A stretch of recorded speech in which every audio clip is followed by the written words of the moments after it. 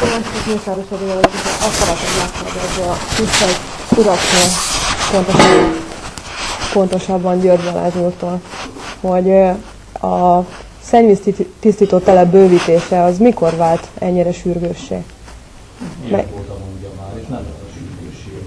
Tehát évek óta. Évek óta. És akkor, amikor tavaly 200... Jó, hát de ezt mindannyian tudjuk, ez egy, ez egy költői, költői kérdés volt. Hát nézze, ha úgy gondolja, akkor menjen haza. Ja, igen. Tehát több éve, igen.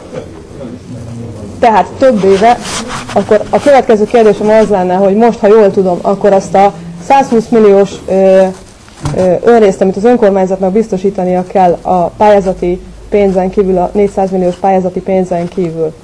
Ö, ha jól tudom, 200 millió forintért vették meg a Suzuki Ulman, amikor már nagyon létszükséges lett volna megvalósítani ezt az új beruházást. Ez a pályázati pénznek a felét biztosította volna. És ha jól értem, akkor ez nem a tavalyi év költségvetésébe kellett volna, hogy szerepeljen, hanem több éve kellett volna már, hogy szerepeljen.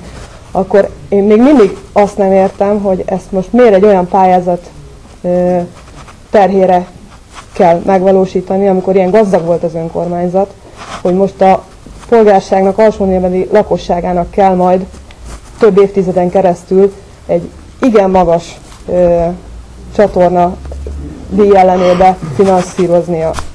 Ennyit szeretem volna hozzáfűzni.